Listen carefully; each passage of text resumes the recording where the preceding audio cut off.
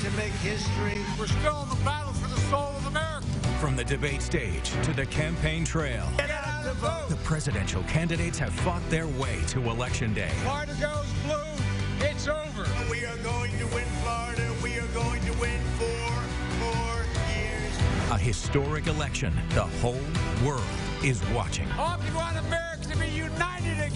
We're doing better now than we ever did. With the pandemic taking center stage, What I see across Arkansas is a new level of seriousness. early voting smashing records nationwide, Long lines were a big theme all across the central part of the state. and mail-in ballots flooding into the U.S. Postal Service. This is the most important election in the history of our country. We're going to change the course of the country and, quite frankly, the world. All eyes are now watching as the vote plays out.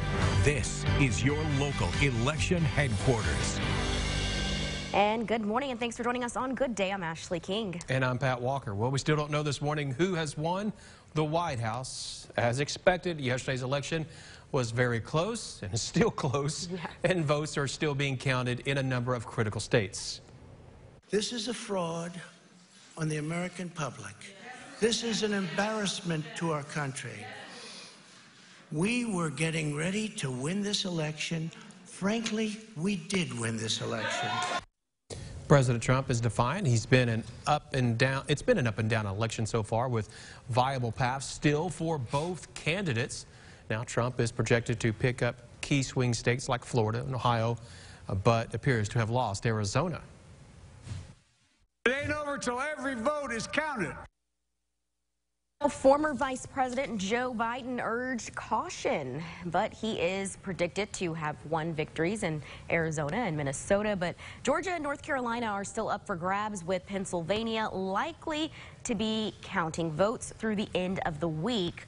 All eyes turn to states now like Wisconsin and Michigan. All right, so let's take a look at the latest numbers. You need 270 electoral votes to claim the presidency. Joe Biden has 238 overall. Here in Arkansas, obviously, President Trump won with 62% of the vote. So uh, Joe Biden has 238 overall. Trump has 213. There are, as we mentioned, several states that are still counting ballots that have not declared a winner. And Arkansas obviously easily won by Trump. Now,